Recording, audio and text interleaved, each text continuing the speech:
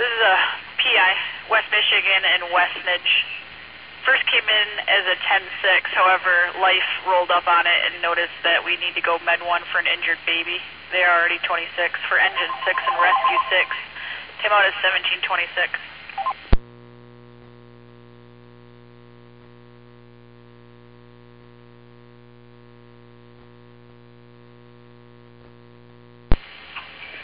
Rescue 6 en route from Zone 7. 26.